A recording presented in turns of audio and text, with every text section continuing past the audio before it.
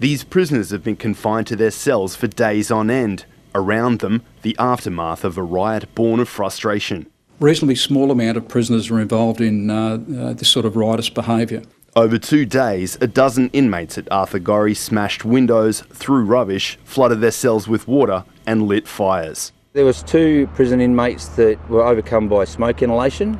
It was an apparent protest at the deteriorating conditions in an overcrowded prison with staff shortages. I think at the heart of this is the fact that uh, people uh, feel very, very disaffected at the fact they've been locked away for significant periods of time. The prisons had to fill the void of more than 400 staff who were stood down last week for coronavirus testing after two officers were linked to a COVID 19 cluster.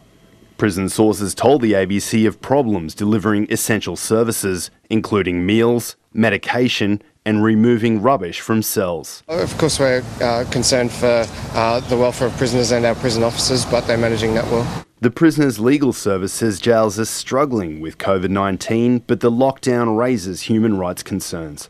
Five days without any outdoor time when you're locked in a concrete cell with nothing but a kettle and a sink and a toilet and a bed is quite a horrific prospect for any one of us.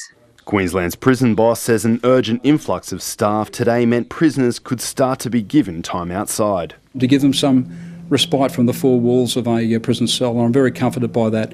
And I think that that will reduce the temperature. The prison's calm again for now. We're in a 14 day isolation period. Currently, we're at about day four, and so uh, this has got a, a fair way to go. Josh Robertson, ABC News, Brisbane.